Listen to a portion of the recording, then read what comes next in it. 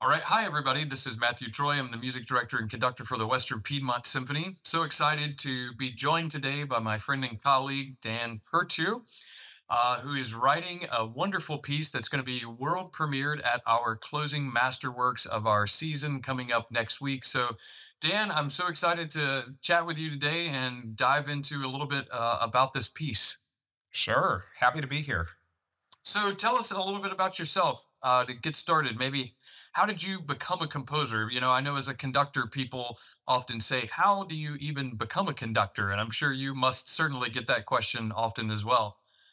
Sure. Um, so I I loved composing ever since I was really young. I started piano when I was five, and so um, as I was working on piano music, I um, got always had this feeling, especially s- when I was around seven or eight. I was like, you know, I wish I could make up my own stuff, and I would start making it up. Um, but I really didn't know what I was doing until I learned um, music theory. And I learned that, and I did more sophisticated stuff as I went through school. But finally decided, you know, I had a lot of other interests and stuff, but I finally decided in college um, and graduate school, you know, that's ultimately what I wanted to do. And so that's how I got on the road, and then um, have been doing um, more and more orchestral composition, uh, which I've been very excited about. And I also love, um, in particular, I love writing music that includes um, stuff that is um, relevant to local audiences. And so that's part of how this particular piece came about, too. Yeah. So you and I met uh, last summer, I suppose it was, or was it two summers ago? Two summers ago out in Los Angeles at the League of American Orchestras conference. And I, you know, had been hearing your name more and more prior to the conference. And it seems like you are just, you know, really having a great time right now. I mean, you're writing a lot of music, you're having your works premiered and performed by a lot of different orchestras. Um, that that must be a thrilling experience for you because I know every time you you write a piece, it's almost like maybe something akin to giving birth to a new baby, you know? and so to see that baby get out and, and start living in the world of orchestras, it's got to be a thrill. Yeah, so it's been uh, really, really exciting um, season right now for me, and uh, that is absolutely true. I mean, you you want your each composition is like a child, and you want it to have its own life. Um, I've been uh, fortunate in that I've also been collaborating with people who believe in the music, and you know, it depends on uh, the people uh, who are bringing it to life, whether it's you with Western Piedmont or um, whether it's with um, you know a collaborator, a soloist who's doing a concerto or a different orchestra. Um, it's it really is a collaborative effort. It's not uh, you know I can write all the notes I want, but you know I still have to have humans play it, and that's the best part of it. Um, is is the performance and going there and getting the thrill of it and um, connecting with the audience as well. Um, audience members, well, I, I love talking with them and I love um, seeing how they react to the piece and, um, you know, and, and getting to know the different communities I go to. Sure. So, you know, as we explore this topic of new music, um, new music might in some ways be something that an audience has a little bit of you know they're they're unsure how to feel about new music sometimes so how would you describe your music i mean i certainly can speak to a little bit of what what i was drawn to in your music um and the, the reasons that we decided to connect and and embark on this this this collaboration this commission for the western piedmont symphony um, but tell us a little bit about just how you would describe your style what is important to you as a composer um, and how you how you approach some of the very beginning stages of, of a new work. Sure. So, one of the things I love to do is I love to tell stories through music. Uh, I think that's really what people connect with. And there's always a new story to be told. Um, I'm of the mindset that I like to tell my stories in a language that audience members can understand. So um, some some composers uh, in the past have sort of reinvented the language and um, that's fine. And, you know, that's an exciting thing for them to do. But sometimes that can be hard to understand if you don't know it. Um, so I, I like to tell it in a story that people understand, but you can still have a completely new story in that language. Um, so um, one of the things I, one of the ways I would characterize it, I think, is um, maybe neo-romantic. Um, so there are aspects that are um, from the Romantic era. Um, it's very melodic and harmonically driven, but um, it's not a reinvention of Brahms or Beethoven. Uh, it's um, my approach to harmony and um, also timbral writing, like instrument tone colors and that kind of stuff.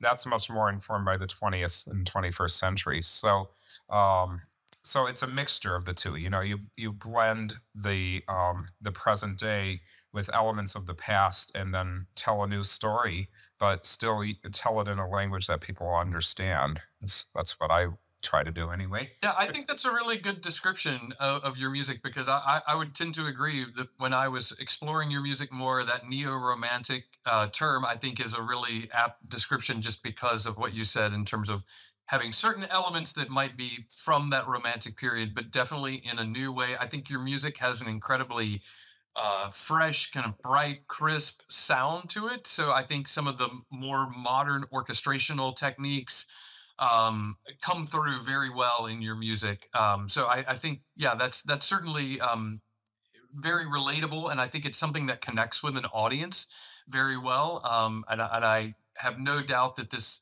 uh, piece, when we premiere Appalachian Vistas, that this will uh, is what happened in that piece as well. So when you're starting a new piece, when you're, uh, you know, uh, like I said, at the beginning stages of writing something, are mm-hmm. you are you thinking more about melody or harmony, or are you thinking even bigger picture, like structure of the piece and layout, the form and design of the piece?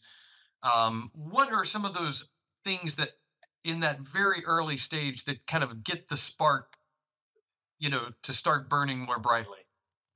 Yeah. So for me, when we were talking about this piece, um, uh, I I started with the folk tunes, the Appalachian folk tunes, and um, I chose them specifically to be tunes from that were commonly sung in North Carolina.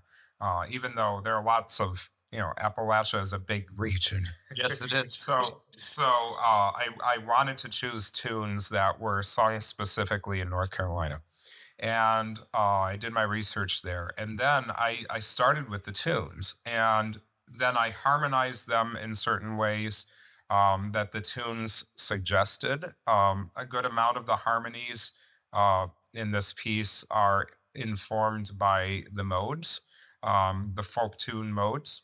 And um, so then I, you know, I started with the tunes, but then I, I would break them up and I would think about, okay, how can I um, convey this tune, but then um, you know take snippets of it, take motives of it, develop it, um, make it into something that's a bigger piece. And so then I start with the tunes, I start with the ideas, and then it's a process of um, thinking also of how do they start to fit into a larger form. So the first tune, which is "Come All You Fair and Tender Ladies," that one is sort of like the intro um, uh, or the first section of this piece of this tone poem.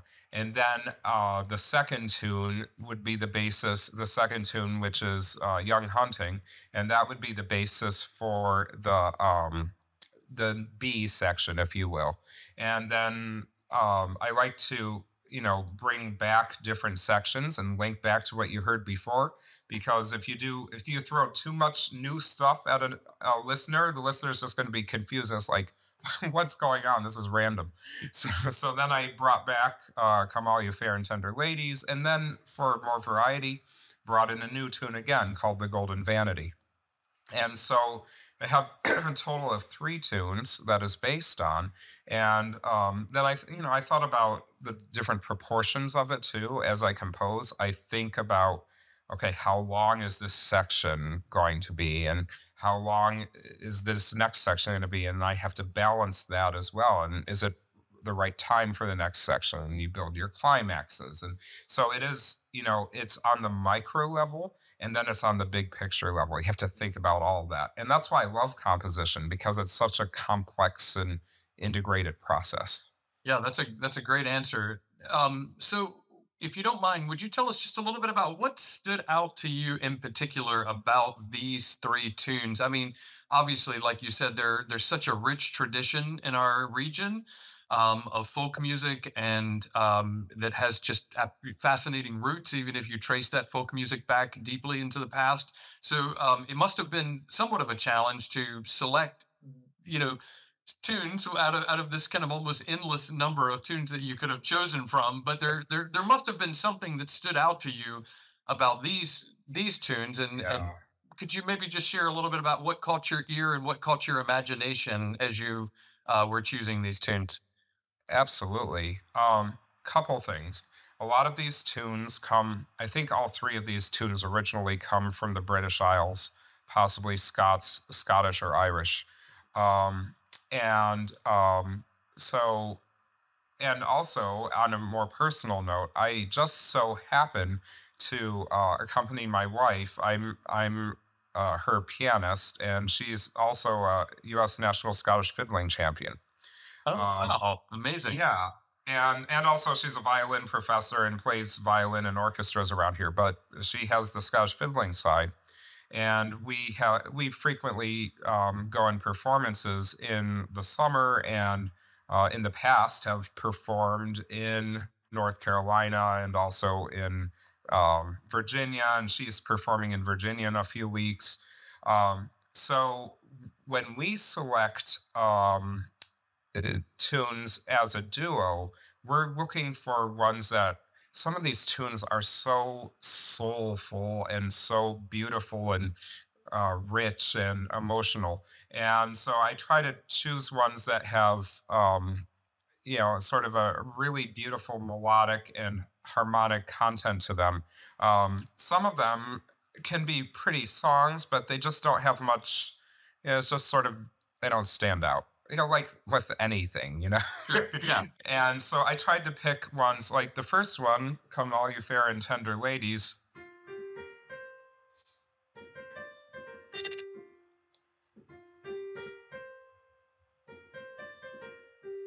That one has um, that sort of pentatonic quality to it. That's based on a five note scale, the pentatonic, uh, standard pentatonic scale. And uh, that scale is actually the oldest scale that we have musical evidence of. Um, there are bone flutes made 40,000 years ago in Europe that were tuned to that scale, which is really, really ancient. and you And find so, that scale all over the world too right yeah, Var- various different cultures so it's something kind of just elemental to to us as humans making music It, it totally. I mean, it's all over in Chinese music, yes and it's right all over in um, you know various others. So um, yeah, so I love that, and then so I chose that one because it has that sort of wonderful quality to it. It's ancient sounding. The second one, which is Young Hunting, um, it goes like this.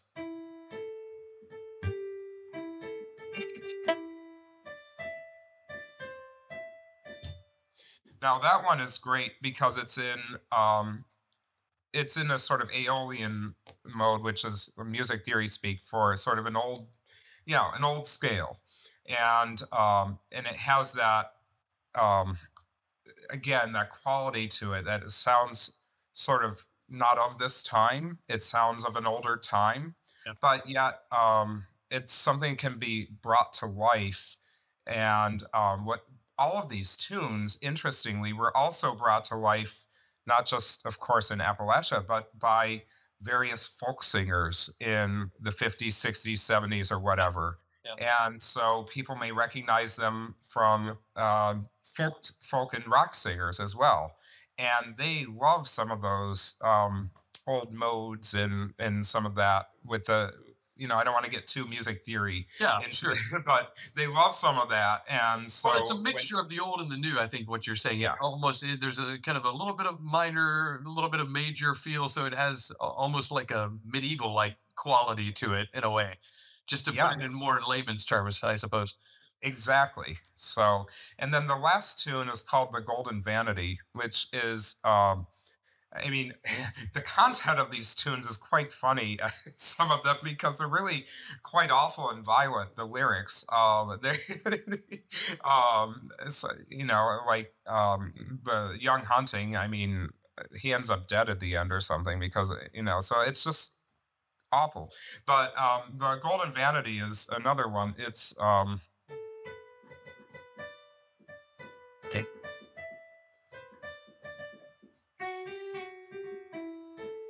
and again, it has that. What key are we really in? And it sort of slips in and out of it, and um, has and it all also these tunes are like in terms of meter and rhythm, they're flexible because of the singers and um, you know the different performance traditions. So all of them seem to be like a really fertile ground for um, turning it into a an orchestra piece.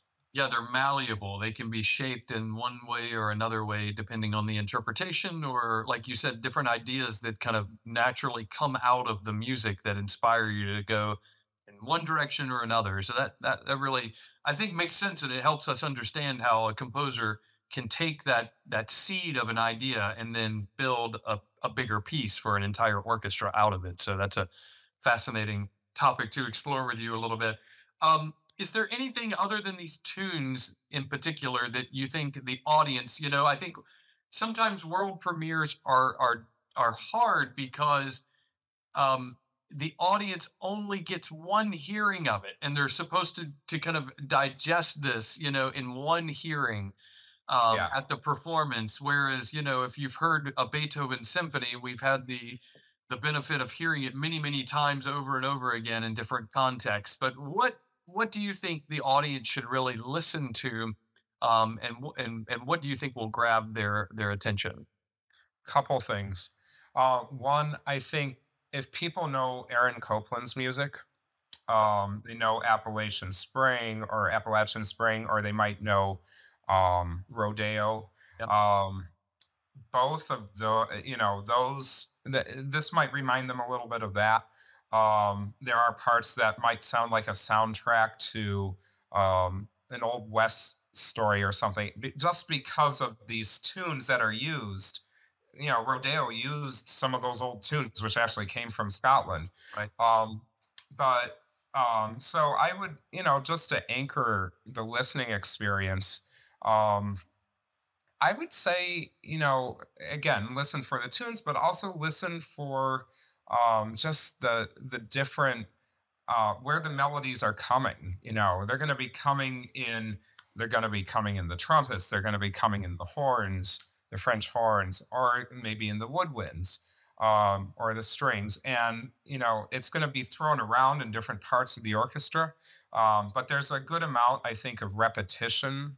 So it may appear in one family at one point, but it'll, then it'll appear in another family, and you can sort of latch on to the different um, sounds and different melodies in the different families.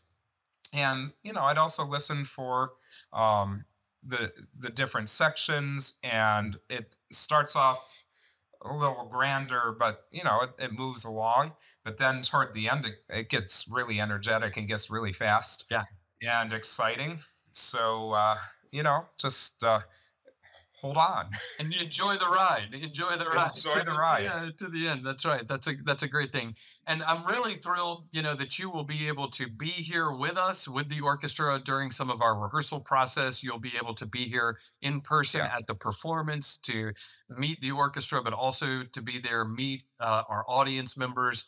So uh, if you're watching this video, I encourage you to come to the concert. Make sure you come to the concert um, but also you'll have a chance to speak with Dan uh, at some point, either after the concert or post-concert reception, or or some other uh, opportunity when he's around. So that's that's a really um, just important piece, and I'm thrilled that you'll be able to join us here for that. Um, just one final question before we close. Um, you know, I feel like in today's world, there is so much music. People have so much access to music. Um, and and uh, the way we consume music and the way we experience music, you know, has been fractured in so many ways. People get music from so many different places depending on what their interests are. Um, why why to a, a- an average audience member why does new music like this matter why does uh, having orchestras that commission um, new works in addition to the fact that you know it helps keep composers like yourself employed which is always a good thing but why does why does new music matter um, and and why is this important for the mission of orchestras and just the arts in general Oh, that's a that's a wonderful question. I love the question. Um, one of I think one of the best answers I've heard to that question. It's not my answer actually, but I heard it was um, you don't want to you know in 2400 do you want to look back 300 years and then say well nothing happened in the 21st century. Um, you know we have there's culture there's music in a whole centuries um all time since for well for 40,000 years but you know at least written music since um in Europe since around 1000 AD um and we've got to we've got to keep doing it. Um so and then the other question is why orchestra? Well um the orchestra is such a wonderful, um, versatile ensemble. So, on the one hand, uh, we have such a plethora of great genres, right? So, you know, we mentioned, I mentioned rock, I mentioned folk music, I mentioned um, very, you know, chamber music, whatever.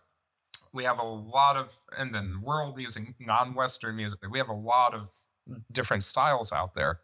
Um, but orchestral music is still such an important and such uh, an interesting um, enterprise. And, you know, it involves so many people. Um, you know, you have 50 to 150 musicians on the stage, depending on um, what is called for. So you have this huge amount of people involved already there. They're all extremely highly trained. Um, and um, you know and and so you have this production of an incredible art form um, that is very unique unto itself. And so you have the question of why is it important in terms of you know music of our time but then you have orchestras that are doing amazing things. And so it's an experience ultimately like nothing else. And so I think I'm just passionate about contributing, being one person who can continue to contribute to that as a composer. Um, you know, because I think, um, as I said, it's an experience like nothing else. Yeah, that's a, that's a great answer, and I, I certainly echo that statement. I know as a conductor, you know, the thrill really comes from all of these amazing musicians working together towards a common goal. Um, a lot of different viewpoints, a lot of different opinions, you know, but we're working uh, in one direction, trying to create the best concert, the best experience possible, trying to be as true to the composer's intentions as we can possibly be. Um, and so there is something really unique and special and beautiful about that. And I think kind of a broader lesson for all of us in the world today about how to uh, work through our differences, work together to create something beautiful. So, um, just really, Dan, I really appreciate your time today. Thank you so much. The concert is coming up on May 16th, 7:30 p.m. P.E. Monroe Auditorium here in Hickory, North Carolina. You can get tickets and more information at wpsymphony.org. Um, and Dan, just thank you so much for your time. And I am absolutely thrilled to bring this piece to life with you uh, next week. So thanks so much for joining me today. Thank you. I'm looking forward to it. All right. Thanks. We'll see you there.